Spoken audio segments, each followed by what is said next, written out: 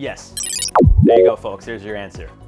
I've always thought life is a simulation. Even as a joke, the idea always intrigued me. What if everything we are experiencing is genuinely a figment of our imagination, if you will? As I've said in other videos, when you're dreaming, you usually aren't aware. So who's to say hypothetically, we aren't all dreaming right now? Really gets you thinking, doesn't it? But you guys weren't ready to toss those thinking caps on today, were you, huh? No, you weren't. Well, your boy is always switching it up. Your boy Pepper is always keeping it spicy, baby. Let's go. Today on Life's Biggest Questions, we're asking, do we live in a simulation? And as Joey Diaz says, buckle up, because we're about to go deep. The posters are going. All right, for starters, we need to briefly go over the idea of simulation theory, which I will say it's very difficult to even understand or comprehend, but very fun. From Are You Living in a Computer Simulation, published in 2003 by philosopher Nick Bostrom, he said, I quote, Many works of science fiction, as well as some forecasts by serious technologists and futurologists, predicts that enormous amounts of computing power will be available in the future.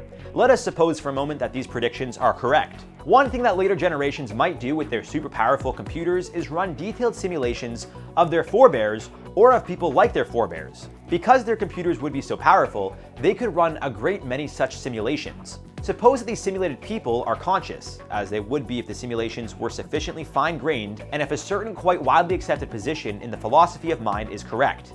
Then it could be the case that the vast majority of minds like ours do not belong to the original race, but rather to people simulated by the advanced descendants of an original race.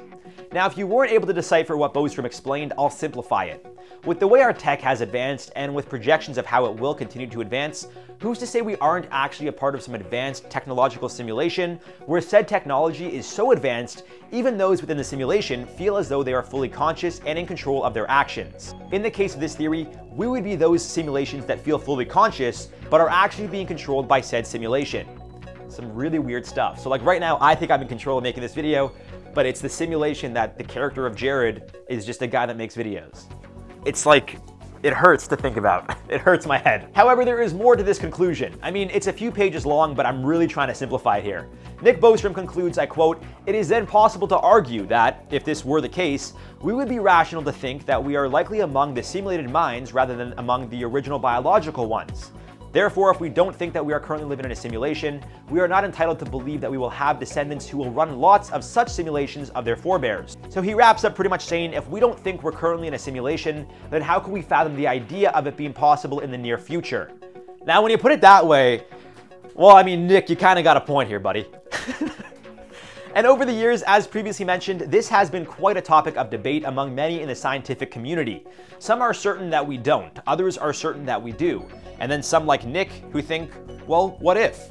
A few others have offered their opinions, suggesting it may very well be possible that we do live in a simulation, although there's no way of knowing for sure, including the great astrophysicist Neil deGrasse Tyson, and of course, the one and only Elon Musk. Others have dismissed the idea, such as physicist Frank Wilczek, who argued that the idea of building such a complex simulation just wouldn't make any sense. More specifically, when pointing to the extreme complexities of our world, such as the minute things that really don't make all that much of a difference, it's too specific to be in a simulation. Asking the question with another question, Frank here is in the camp of, why would an intelligent species waste so much time and energy creating such a complex simulation when it wouldn't need to be as detailed? And the answer to that, my friends, could be depending on what the simulation is being used for. Too bad I don't have Frank's number. I would love to give the guy a call and just let him know. Of course, aside from those who are for, against, or unsure about whether or not we're actually living in a simulation, you have those who argue there is no true answer. Sabine Hossenfelder, a physicist and scientific blogger, made the point that since there is no true way of proving or disproving whether or not we're currently living in a simulation, then there's no reason to ask the question in the first place. If you know there's no way of knowing for sure, why ask? I mean, again, fair, but there's a reason people know Elon and Neil deGrasse Tyson and not these other people. They think life's a simulation. Me too. We're just a bunch of bros just broing out, because life is a simulation, bro. It seems across the board within the scientific community, this idea that we live in a simulation is somewhat divided, like 50 50. On one end, you have people arguing that if we were a part of a simulation, we likely wouldn't know. And on the other side, well, as you see people saying, it's far too complex to be a simulation, because why would people put that much work into something that isn't real? The people who don't think about it or don't bother to question it in the first place, they're not included here. Just those four are against the idea. If you don't think about it, then just figure out which side you're on. And unfortunately, because there will never be a way of confirming 100% as to what life really is, this becomes an open-ended question.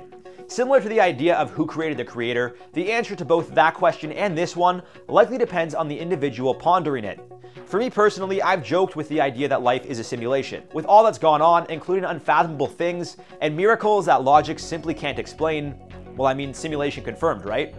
Maybe not. As humans, we tend to think we're much smarter than we actually are. And this idea of us not being able to comprehend how something happens, so we refer to it as a miracle or the work of the unknown, is simply our egos getting in the way saying, well, we can't understand it, so no one ever will, and thus, it's the work of an external being.